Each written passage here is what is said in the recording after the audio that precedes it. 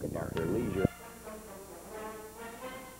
In front of 77,000 fans, uh, the first uh, play that they run is a little motion and put the motion man in the flat.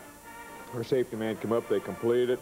Then they come back later with a park grader on an off tackle cut back, run the daylight that we have to run him down. Mark Anderson runs him down about the 20-yard line. And they've taken the ball 60-some yards on us. Did not score because the field goal attempt was blocked by Bernard Hay. And uh, Dan Bass picked it up and ran it back for us a little bit. On the second play of the game, Eddie Smith finds Kirk Gibson dragging across the middle.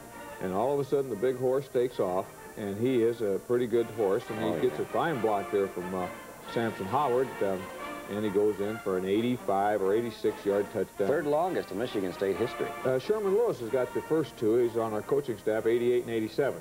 Then uh, Morten Andersen kicks the first of seven field goals, I mean seven conversions. Come back on the second possession, the very first play, we find Samson Howard coming across. Our free safety, number 37, uh, hits him and misses him. Uh, had a good hit. And, Great move. And just kind of bounced him into the right area to be uh, running up the football field. So the next thing you know, it's a 55-yard touchdown, and we only had three plays, so we're ahead 14-0. They come back, and it's a third down, third and eight situation here, and gets outside Larry Savage a little bit, and then Mike Decker knocks him out of bounds. But forced him to punt. We get the ball back on our 20-yard line, and he comes back and finds uh, Steve Smith in the middle to keep the drive alive.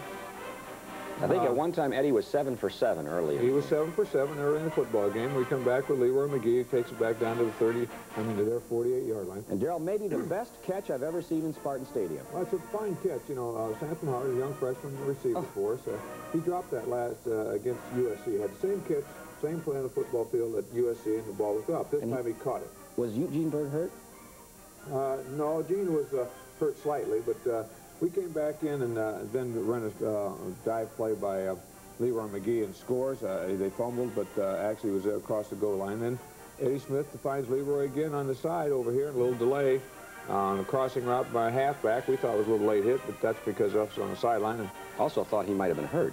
well, you can be. Then we run a sweep, and Steve Smith Oh, gets some great blocks. Uh, and one block is by uh, Mark Brammer, the other block by Kirk Gibson, and Steve just runs into the end zone, and, and that makes it 28. Now, Indiana takes the ball back, and uh, doggone it, they just drive the whole length of the football field, throwing the powers, their tight end, who makes two fine catches. This one and the very next one.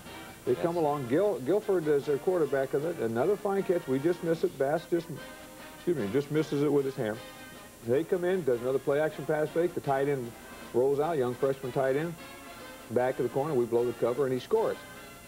Eddie Smith comes back. Now make 28 to 7. Eddie Smith comes right back and hits uh, Samson Howard on a little uh, bootleg action. And the next thing we know, you know, we're back up uh, on a sweep with Steve Bruce. Bruce cuts back inside. We get pretty good blocking. And, uh, not Steve Bruce, Bruce Reeves. Uh, 17 yards on that one.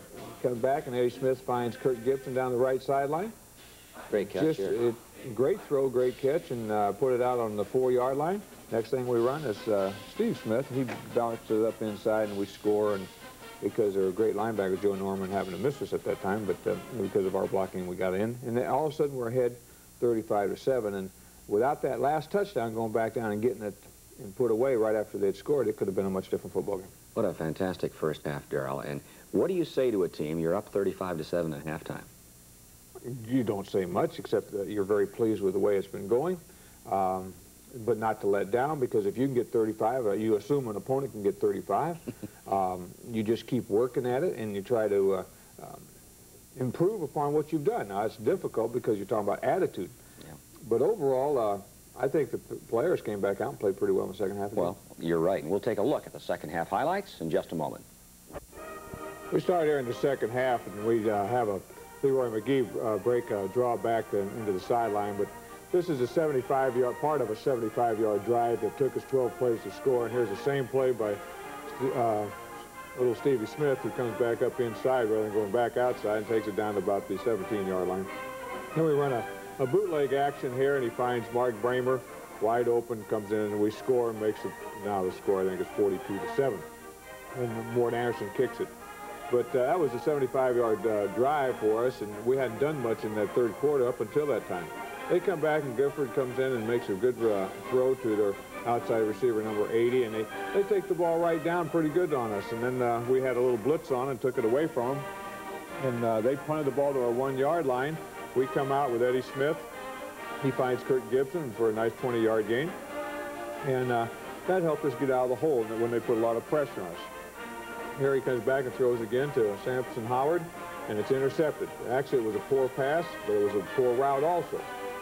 They come back with a reverse and they drop it, and Tommy Graves is in the outside and throws them for a loss, which really helped us, and I'm sure that the, uh, the fumble helped. Then Steve Bruce. I keep saying Steve Bruce. It's Bruce Reeves.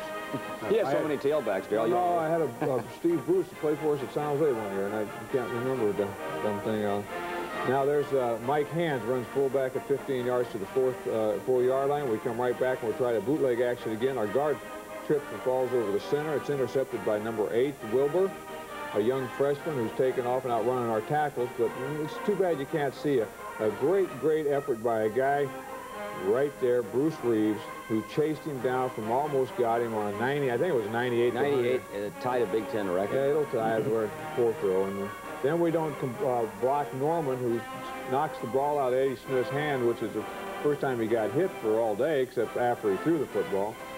They come back, try to score, and Tommy Graves makes a great interception in the goal line down there. Comes out, brings it to 15. We come back, and we throw the same action to uh, our uh, young freshman, Derek Hughes, tailback, who brings it up to the 40-yard line. Then you'll find that Derek runs pretty well here. Right now, he runs a little uh, off-tackle play and cuts back, and he gets a, a couple nice breaks in here. And, uh, he has a great feel for where people are coming from, and he's a big kid, 6'2", 205 pounds, and uh, outstanding sprinter, and you'll watch him run the same play to the right here, and he goes in and scores a big blitz, a fine block by Mike Hans and the rest of the offensive line, and he scores. So Derek's uh, pretty good now for a young freshman. Statistics are going to be fantastic. And he's 49 to, uh, to 14 that we are, and so it's put us off to a pretty good situation. Darrell, the statistics, 644 yards offense by Michigan State, 369 offense by Eddie Smith, which is a Big Ten record.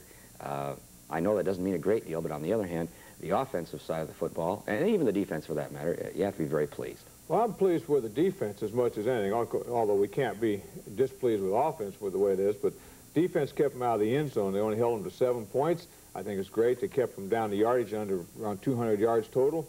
Um, in that type of a football game with as many substitutions, I think the defense is starting to mature a little bit to be a good football. And we can't win without good defense. And so uh, our whole program is based on whether our defense can stay and keep the other fo- football team out of the end zone.